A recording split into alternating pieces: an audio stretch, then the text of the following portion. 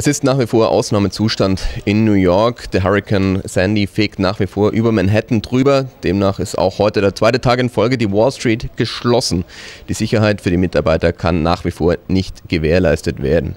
Was genau die Folgen für den Handel sind, das will ich heute wissen von Roland Hirschmüller von der Baderbank.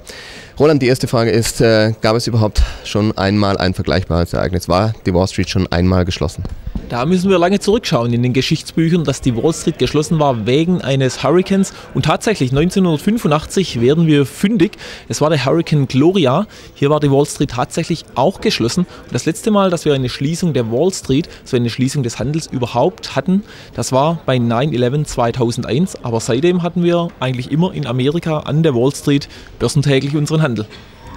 Was bedeutet das nun konkret für den Handel? Wird überhaupt noch gehandelt in New York oder wie macht es ihr?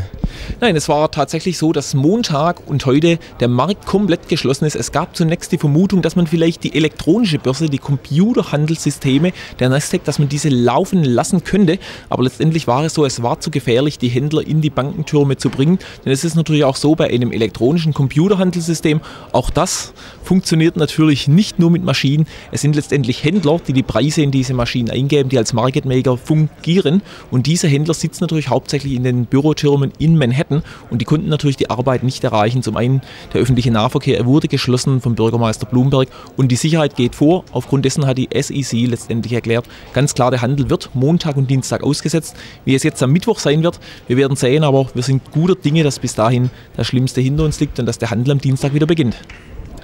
Gehen wir mal äh, davon aus, dass der Handel morgen wieder, wieder losgeht.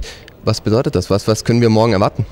Ja, wir, die ersten Schadenschätzungen sie gibt es ja jetzt bereits. Man rechnet mit wirtschaftlichen Schäden von 10 bis 20 Milliarden. Was davon durch Rückversicherer letztendlich abgedeckt sein wird, das ist die ganz, ganz große Frage. Das wird man letztendlich hinterher sehen. Ganz klar ist, die ersten haben sich geäußert. Es hat natürlich Auswirkungen im Verhalten der Konsumenten. Geld wurde natürlich ausgegeben, um die Häuser sicher zu machen. In den großen Baumarktketten wie Home Depot, wie Löwes. Da scheinen die Profiteure irgendwo zu sein. Aber dieses Geld, das fehlt natürlich irgendwo. Da darf man sehr gespannt sein. Fehlt es für das Weihnachtsgeschäft? Das wäre natürlich wiederum schlecht für die Retailer. Das sind alles Dinge, die man dann letztendlich sehen wird. Aber man wird natürlich versuchen, so schnell wie möglich zur Normalität in New York zurückzukehren. Ein Punkt ist da, der New York Marathon. Am Sonntag soll er starten und bisher ist er nicht abgesagt. Für ordentlich Wirbel sorgte Sandy auch bei Google. Was ist da passiert? Ja, das ist eine natürlich harte Anekdote, muss man sagen. An dem Beispiel sieht man, wie hart in der Branche gekämpft wird. Microsoft hatte sein neues Windows Phone 8 angekündigt, die Präsentation am Montag an der Westküste. Google hatte daraufhin natürlich versucht, schnell zu reagieren, hatte eine Präsentation auch für Montag angekündigt, allerdings an der Ostküste. Und diese Präsentation musste natürlich aufgrund des Wirbelsturms ausfallen. Die Produkte wurden präsentiert im Firmenblock.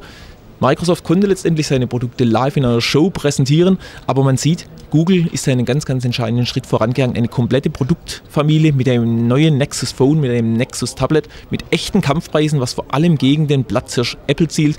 Und da darf man sehr gespannt sein, wenn die Märkte dann wieder öffnen, A, wie sich das auf Apple auswirkt, ob die Vormachtstellung weiterhin unter Druck ist und natürlich, wie insgesamt das Produkt von Google und Microsoft angenommen wird. Roland Hirschmüller von der Bader Bank. Vielen Dank für das Gespräch. Bitte schön.